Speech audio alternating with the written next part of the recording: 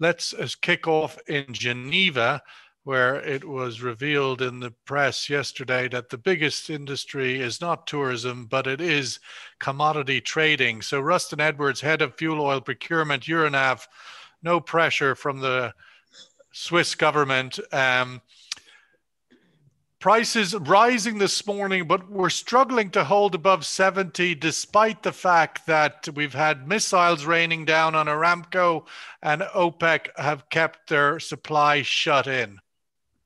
Um, yeah, good morning, Sean. Good morning, everybody. Happy belated uh, International Women's Day to everybody. Um, the um, it, it's an interesting market. I mean, we did have the spike yesterday up above seventy-one dollars on the back of the missile missile headlines. But the missile attacks happen almost regularly, it seems. I mean, it's, it's part of the headline news uh, feed and it almost can fade into the back back pages unless there's an actual strike with actual damage. Um, so I think the market sold into that rally, which is probably the proper news. And you know now we've got crude going back uh, down again today.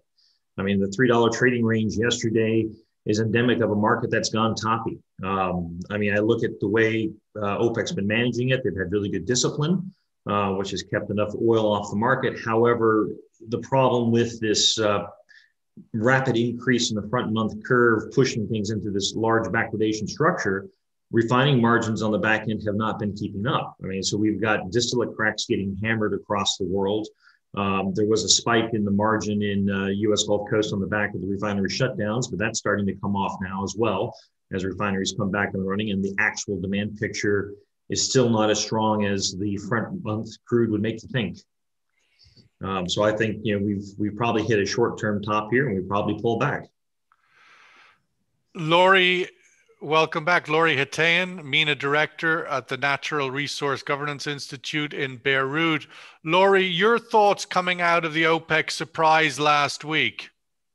Well, uh, I think it was a smooth surprise, let's say, because they were, they, there was agreement. From what I see, it's like the uh, Saudis and the oil producers that have like really difficult economic situation were happy to, to continue the cuts to see the prices up because they need the prices up. And for the Russians, I guess, like they're getting a sense of shale not coming back as they expected with high prices. So I think that this time it was a smooth decision, like to uh, roll over. Again, surprise, surprise, because we've been uh, we've been in your show and everyone was saying like, no, production will come back, and there was a possibility to come back this time with one million and plus. But we see that they've taken another route so uh, but i guess like the main the main uh, i guess the main uh, objective was to keep the prices high because they know that they cannot keep it for long that high. And yesterday patrick pouyanné the ceo and president of total said it. He said like the natural prices or the normal prices should be around 50 to 60 dollars. And now t- today we're talking about 70 but very difficult to see the 70 hanging on. So i guess like and before that, if you remember, uh, Alexander Novak was saying that, guys, uh, yes, we are maybe a bit greedy, but we have to accept prices between 45 and $65. So I guess like everybody is no, uh, guessing that maybe 60, 65 could be the normal price. But what we're seeing today is an exception. And I'm sure the producing countries like Saudi Arabia, Iraq, the, the other GCC countries are happy to see these prices up. Well, so it's, it certainly it certainly takes their fiscal balance sheets back closer to break even. Let's welcome Homayoun Falakshahi. Excuse if I've got that pronunciation wrong. Senior commodity analyst at Kpler. Uh, perhaps you can uh, guide us on that, Homayoun. But I do notice that you're actually using the light from your window to shine on your face. That's got to be a first for London at this spring. Indeed. Uh, hi, Sean, and um, um, and welcome. good morning, everyone. Thanks very much. Um, Do you um, think that uh, OPEC Plus were correct last week in in forecasting that maybe there is uncertainty about more barrels from OPEC? Yes, actually, yes, uh, absolutely. And, and and just by the way, let me uh, let me thank you on the pronunciation of my name, which was uh, absolutely perfect.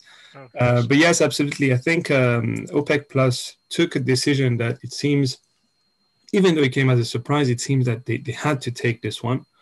Uh, and by that I mean that um, if you look at the balance between the beginning of the year and uh, and when and when the meeting uh, happened, so uh, a few days ago, it seems that that balance wasn't that large between uh, supply and demand. So uh, demand hasn't really picked up uh, globally as much as I think OPEC Plus um, thought at the beginning of, of the year that it, it, it would do. Uh, and so just by looking at you know global onshore oil inventories since uh, the middle, since the beginning of January, so since the beginning of the year, we had just lost about 15 to 20 million barrels globally uh, in about two months. So if you if you make the calculation, it's it's just around 250 kbd uh, difference on a daily on a daily average basis. So really not that much. And so if you imagine that OPEC Plus was before the meeting, you know, people thinking most most analysts were thinking that we should expect about 1.4, 1.5 million barrels per day being back on the market from the 1st of April. Well, if you look at inventories again, it seems that it didn't really make sense. But still, I think uh, you know that came as a as a big surprise. Uh, it seems that you know it's uh, especially the one million barrels per day that that that was kind of pushed back from from Saudi Arabia.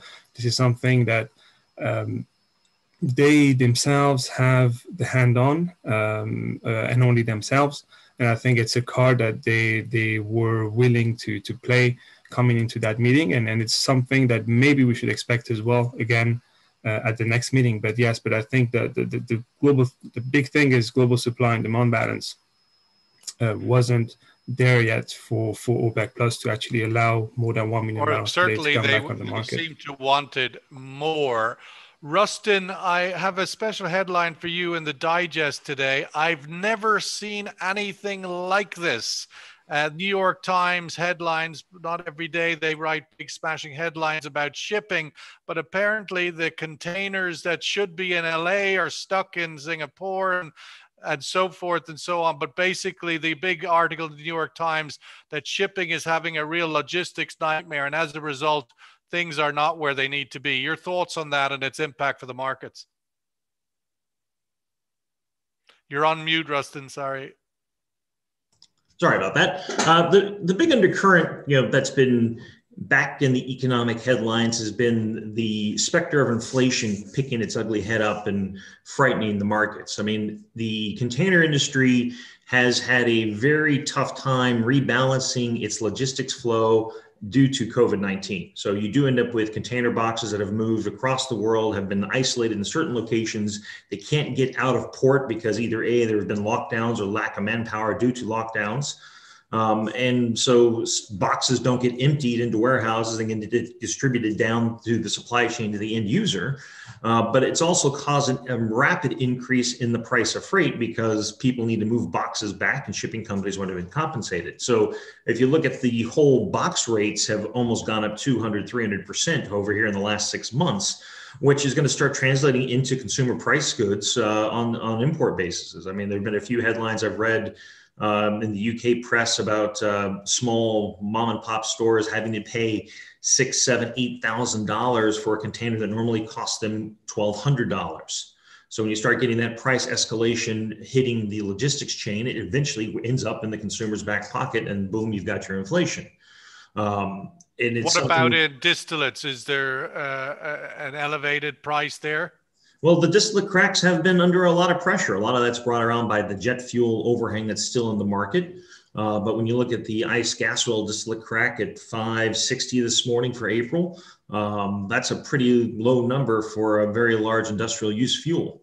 Uh, part of this, of course, is you know looking outside Geneva, it's going to be uh, 15 degrees today. So uh, winter is pretty much coming to an end, and home heating demand is dropping off the face of the cliff.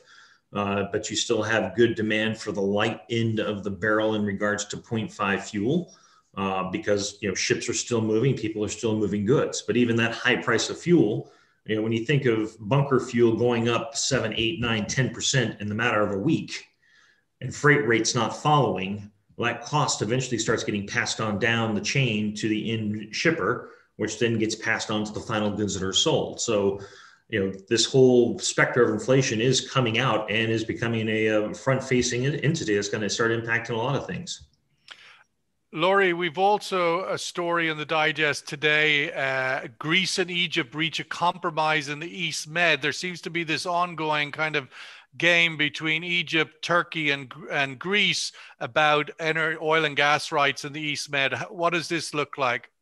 Oh, this is uh, this is not a major story because I think the uh, issue is that there is a strong relationship and cooperation and partnership between Greece and Egypt uh, and stronger than anything.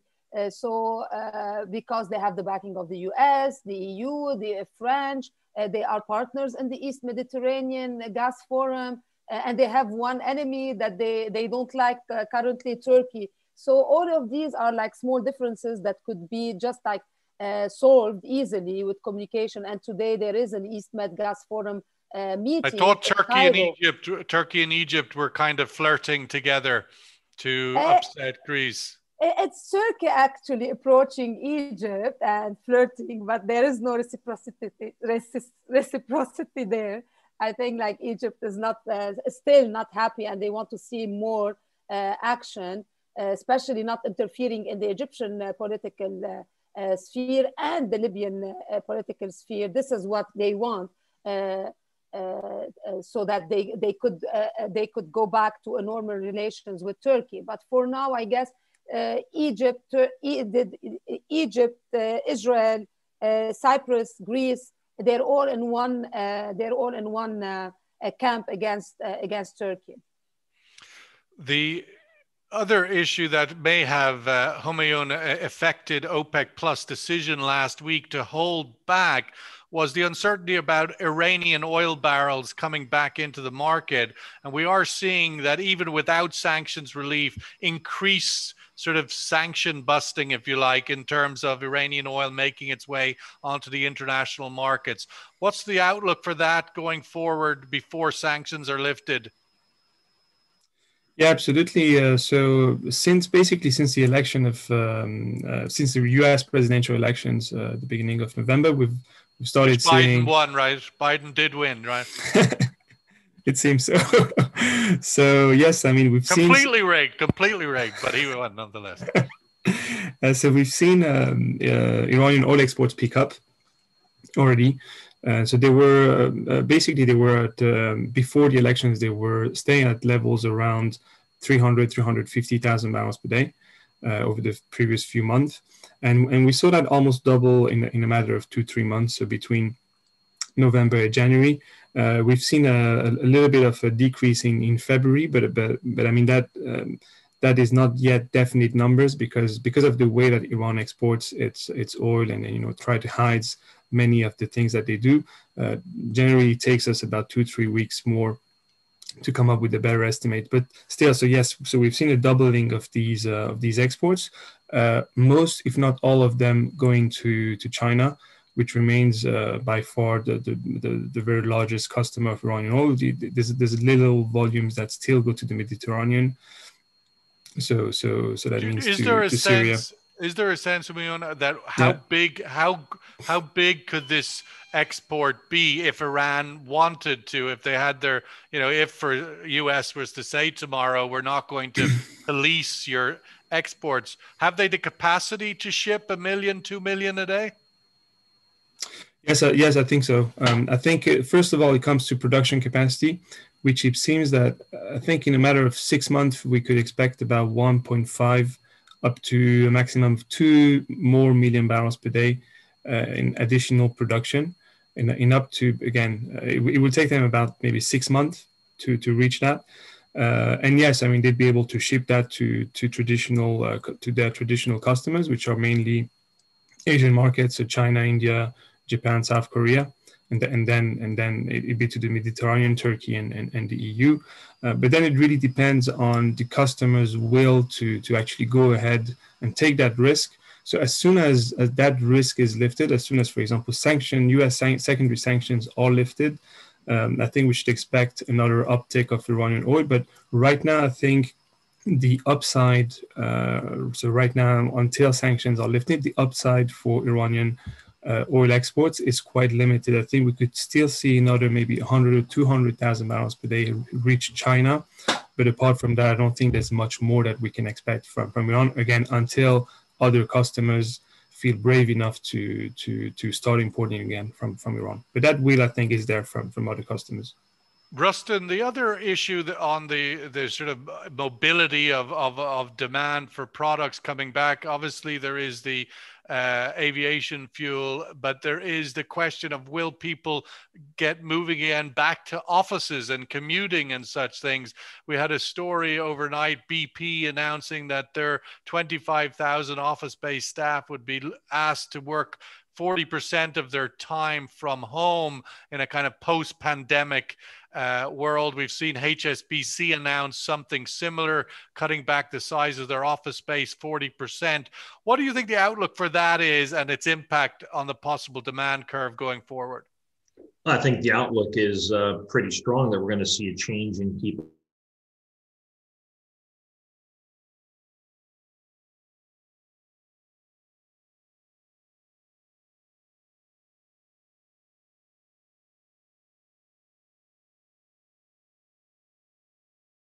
actually work four to five hours, and the other four to five hours are spent in uh, coffee cup chatter or you know walking around or going to have lunch or what have you.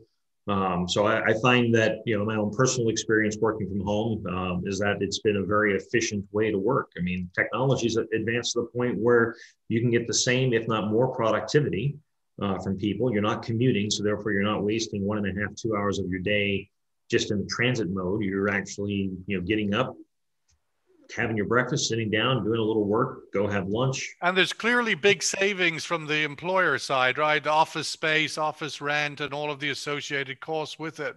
Well, that, that, that is a big savings on the overhead side, but then you also have to think of the knock-on effect of all the secondary businesses that develop around office hubs. I mean, you think yeah. of all the sandwich shops and all the people that they employ, all the coffee uh, coffee shops. You know, that's going to be a very interesting transition in that side and how do the governments deal with that uh, inflow potentially unemployed people looking for work? Um, well, maybe it'll become you're you're banned from working from home in year two of the pandemic as compared to year one where you were banned from working from your well, office this could be this could be the revitalization of the high street. I mean, you think of all the different villages that uh, right that seems to be a constant theme, at least in the UK, at least in here in Switzerland. you villages. mean because people are staying in their towns, they're not going into the cities? Yes, and so it could just be a, a diametric shift out of the city back into the village, and you know, could be overall a better move for the economy and a better move for the environment. Laury, meanwhile, back at the ranch, I'm looking for some analysis on these events that we saw in Saudi Arabia over the weekend. This geopolitical, what is this? Is this part of the big rapprochement between Iran and the US, feeling themselves, feeling each other out, or is it? A, we saw this 18 months ago, of course, uh, spectacularly. The Abqaiq facility was hit pretty hard. What do you think this is, and where do you think it goes from here?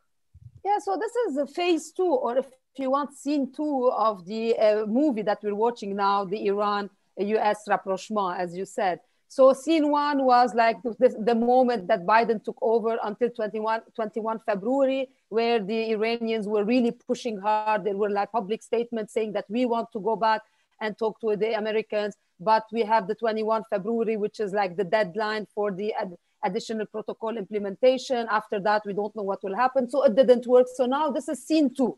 Scene two of that rapprochement is like, okay, we go uh, aggressive, uh, we uh, work on our proxies, uh, do the, these hits uh, constantly in Erbil, in Iraq, mainland Iraq, in, uh, in Saudi Arabia. So this is another way of the pressure that the Iranians are putting uh, on, on, the, on the US until the US takes action in any direction, either uh, completely lifting the sanctions or part of the sanctions or whatever it is. And I think the scene two will last until the, uh, the elections in Iran.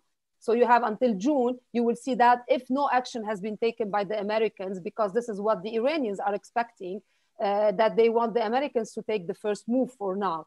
Uh, we didn't uh, see the Iranians give anything on the back of the U.S. decision to uh, not support pro uh, proactive engagement in in Yemen anymore, or the the sort of critique of uh, the ruler of the Saudi Arabia.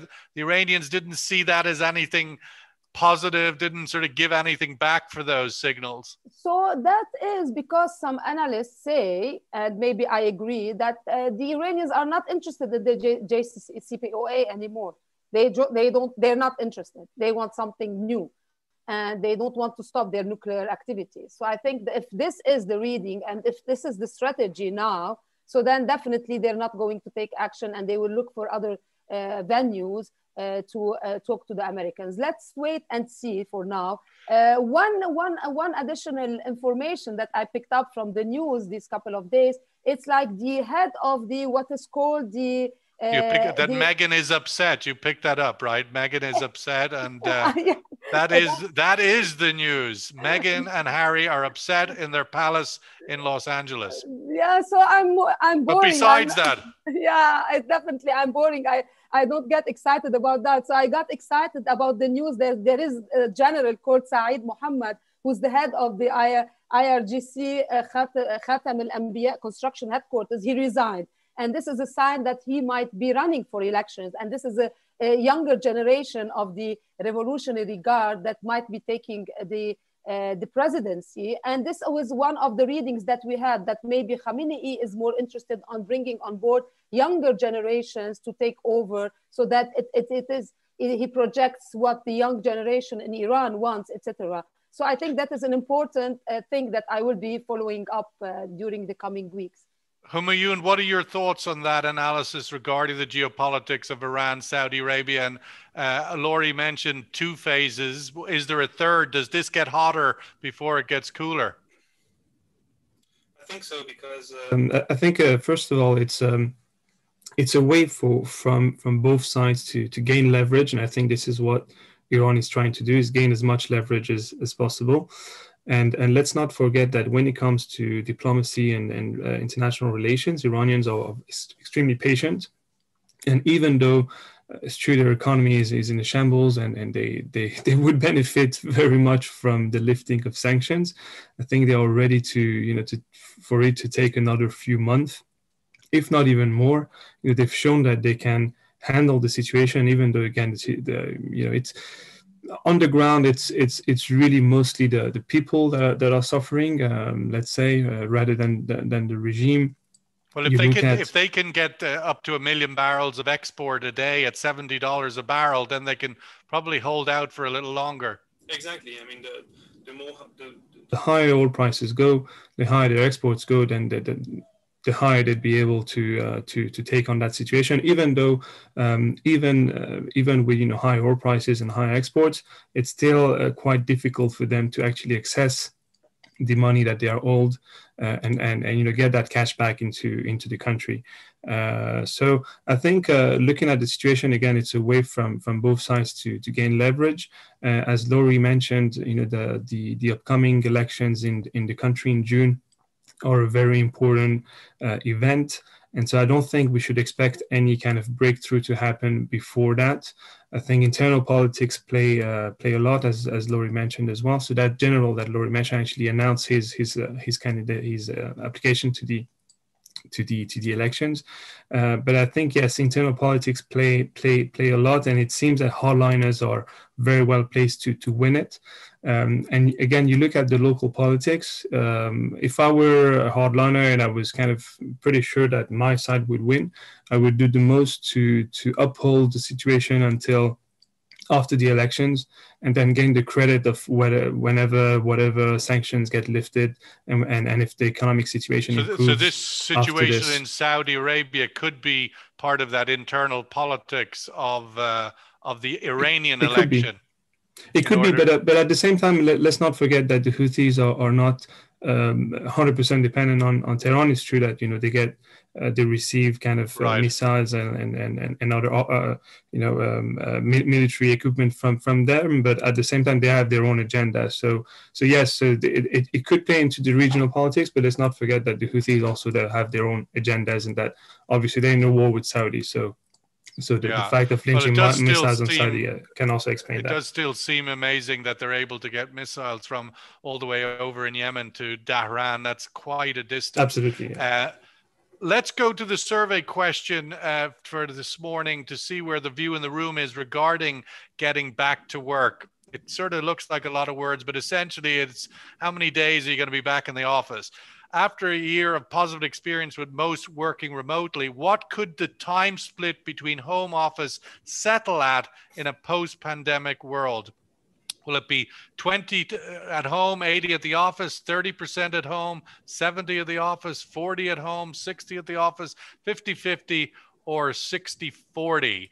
Uh, the BP choice is 40 60, as is the HSBC one. What do you think it'll settle at? Uh, is the view here. Um, and welcome your thoughts on that. Um, not what you wanted to settle at, but what do you think it will settle at? Rustin, looking forward uh, to the week that's in it, Tuesday morning, as we started out, oil prices up a little uh, in Asia, but um, still struggling to hold on to that $70 handle. Do you think we can close above it this week? Um, I'm highly doubtful that we will. Um, you know, it is one thing when financial flows goose the market in one direction or another. You know, the headline algo trade that pushed the market above 71 on Monday um, is far detached from the fundamentals in the oil market itself, where you actually have real demand is still lagging. Uh, there's still roughly about 73, 74 million barrels of refining capacity that's currently running, which leaves about 19 million to 18 million offline. So you haven't had any demand recovery yet that would justify a $71 price in the front. So I think it has a hard time to support plus 70. Um, you know, I think we do retrace back from this point. Um, you know, what I say in the low to mid 60s, probably more low 60s than anything else in my mind. Laury, uh, where do you think OPEC Plus goes from here now? We're already, you know, one meeting passes, we immediately thinking of the next one because they're only a few weeks apart. So uh, it is so difficult nowadays uh, to predict what they will be doing. I guess, like Amina yesterday, I guess said like whatever you think they should, they will be doing, you have to think the contrary. And I think I, I agree with that. And I'm so hesitant nowadays whenever before the OPEC meetings they ask me for interviews. I, I decline sometimes because I feel like whatever I will say, it will be the contrary. But I guess like the St. Thomas policy that the Prince Abdulaziz is uh, is applying, which like I want to see before I believe. Like I, if I see, I believe. So I guess um, maybe it, it still they might. He, wa- he, wants to see your see? summer holiday airline ticket. So exactly. That's the next requirement to coming on this show. You got to show your summer airline ticket. Exactly, and doesn't look like good, right? Because one of the stories in your digest says says like thirty percent of the destinations for summer destinations are still closed and under lockdowns, and they have measures. So I'm not sure how much people will be able to travel. So I guess if this is it, the St. Thomas policy, uh, so then uh, until everything is back to normal and they can really see like strong recovery in demand, they will be very uh, hesitant to bring back these barrels. That we inter- if, right see if we if we get well the demand outlook does look you know is has its half full half week half empty days. Let's go to the survey result for views on that point. 50 50 seems to be tipping the, the, the biggest vote, but of course, this is spread across all the answers. Um, it certainly will be a phasing out. We'll have to see where that goes. Homayoun, your thoughts on the rest of the week, where uh, this $70 handle holds or not, and, and where that we saw in California gasoline demand outlook picking up in, in Europe Britain is looking like it's opening, but the rest of Europe still in shutdown. Yeah, I think I, I, I completely agree with Rustin. I think uh, the fact that you know you've you kind of had a top at the beginning of the week on oil prices on the news that you know that the Houthi missile hitting Saudi.